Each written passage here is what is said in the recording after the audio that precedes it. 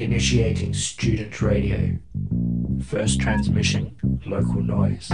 Broadcasting five, four.